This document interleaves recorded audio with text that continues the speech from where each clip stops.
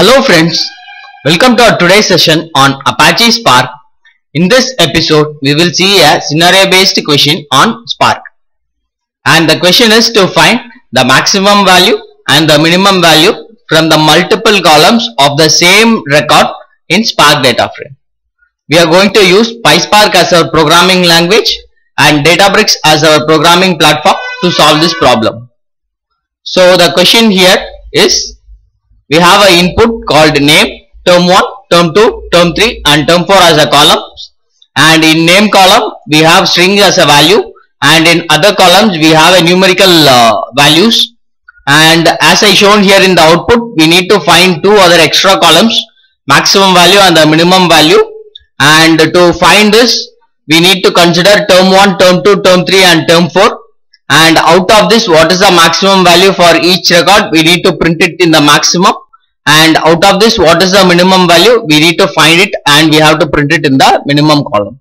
So this is our requirement. Hope you guys understood this. We can solve this using two methods.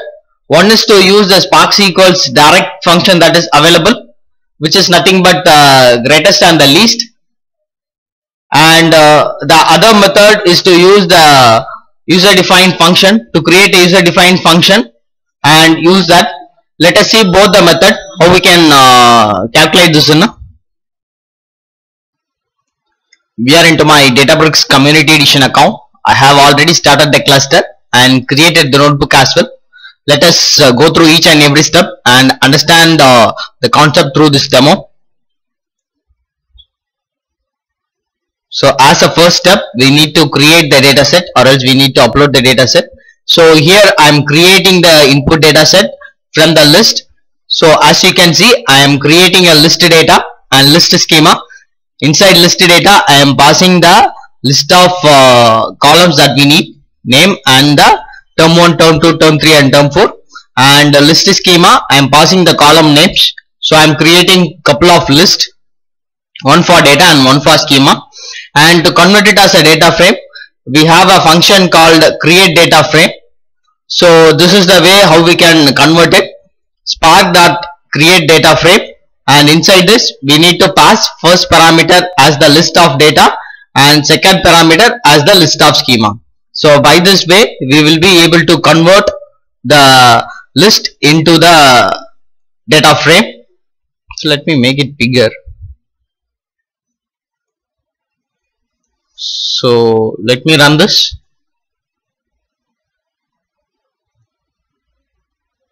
So this displays the output of the input data set that we have. Now let us move on to our actual use case. The first method to use the spark SQL directly I mean like the inbuilt function directly we do have a greatest and the least as the inbuilt function. So let us see how we can use that. As a first step I am importing those functions from pyspark.sql.functions import greatest and least and uh, to apply those functions I am using with column. Inside with column I am calling those functions and passing all the numerical columns that has to be considered. So here inside df1 dot with column the column name that I am going to create is great and uh, the function that I am using is greatest and I am passing term 1 term 2 term 3 term 4 as the list of columns to this function for the least as well it is the same case. I am using with column least and uh, the function as least and I am passing term 1 term 2 term 3 and term 4 as the columns. So let me display the output.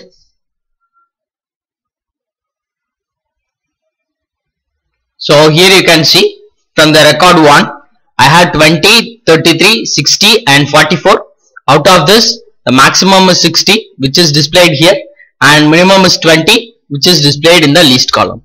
So this is the output that we are expecting. This can be sorted out uh, using the direct function itself, direct Spark SQL function itself. But the method two is to use UDF. Like in some interviews, interviewer might trick you and ask you not to use the inbuilt function and write a UDF to solve this problem. To test your skills on UDF, we do have a complete playlist on UDF I will give the link in the description as well as the I button. You can go ahead and check it if you are interested in learning about the UDF more and more. Here I will tell you how to solve this problem using UDF. So coming back, I am creating a function def great underscore least and I am passing couple of parameters. One is type and another one is the list of columns. This is of type list as you can see here I have given it as a list and inside this I am checking whether the type is greatest or uh, least. So here if uh, type is greatest then I am returning a value of max of the calls I mean max of the list that I am passing and if it is not greatest then I am uh, getting the minimum of the list and I am returning it. So this is a simple function that we have written. We need to call this function in our uh, with column uh, method. So here is the step that uh, we have to follow. I am importing array and lit in the, as the initial step. And uh, here I am adding with column great. And the function that we have created is great underscore least. And the first parameter will be the least. Here I am using lit to hardcode the value. And then uh, as a second uh, parameter I am passing the array. So here I am converting term 1 term 2 term 3 term 4 as an array using the function array that is available in spark so this is for great and for least as well it is same uh, only change is like to pass the first type parameter as least and again I am passing the second parameter as the array of term 1, term 2, term 3 and term 4. So in this way I am passing it. Let me run this. So we got the required output. You can check like uh, for each record 58, 33, 78, 83 out of which 83 is the maximum value and 33 is the minimum value which we are getting correctly so by these two approaches we will be able to find whether it is maximum and minimum of the multiple columns in a Spark data frame. But again uh, UDF is not the best approach to use. Here you can see like it took 1.5 seconds to complete but whereas in our first case you can see like it took around 0.7 seconds to complete. So this is much much faster. So the required I mean uh, so the best approach to follow is to use the inbuilt function that is already available in Spark. If there is no function available then go for UDF. So hope you guys understood this concept better.